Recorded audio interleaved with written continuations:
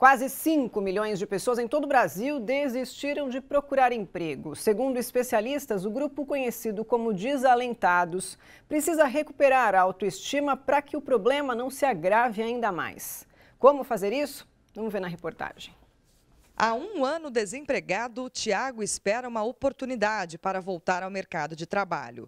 Ele era vigilante, mas agora busca uma vaga em qualquer área. Procurando em sites de emprego, agências de empregos pela cidade que tem, é, comércios que estão anunciando, sites de Facebook, grupos de WhatsApp, de todas as formas. De acordo com o IBGE, no segundo trimestre deste ano, faltou emprego para 27 milhões e meio de brasileiros.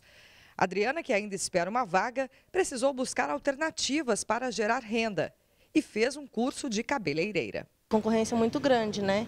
Então, assim, você também tem que brigar e fazer promoção, então você tem que reduzir o preço lá embaixo também, porque não é muito também. Aí, mas a gente precisa de um trabalho fixo para contar com aquele dinheiro exato, né?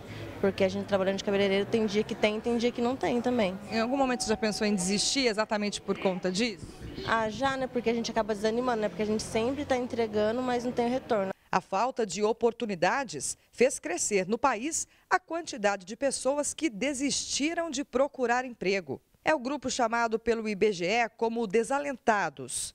Essa parcela da população somou 4 milhões e 800 mil pessoas. 40% desse grupo de desalentados são os jovens.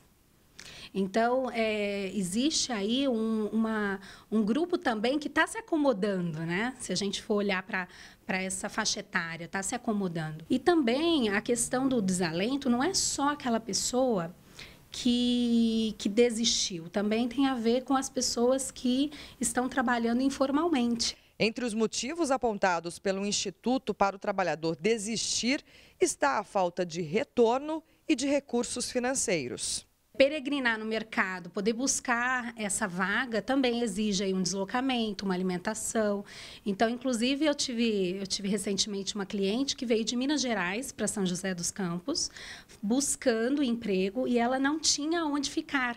Então, ela fez amizade na rua, pediu uma, uma, né, um abrigo para poder ficar mais tempo, para poder se candidatar a algumas vagas. A psicóloga afirma que, para evitar que a situação se agrave, o trabalhador deve resgatar a autoestima e lembrar tudo o que fez durante a vida profissional. E às vezes ele acaba, pode acabar aí é, acreditando que ele não é útil para o mercado. E aí vem a queda mesmo da motivação. Então, quanto é importante ele recapitular, relembrar, fazer esse remember é, de como ele era antigamente, para que isso dê para ele essa alavanca para ele continuar, saber que ele sim, ele é qualificado, que ele sabe produzir, né?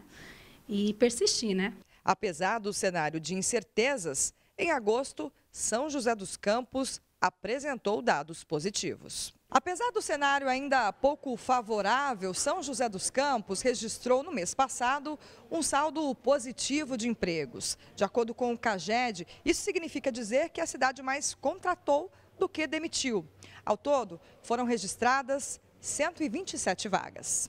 O setor que mais contratou foi o da construção civil. E é exatamente o que a Dejar procura.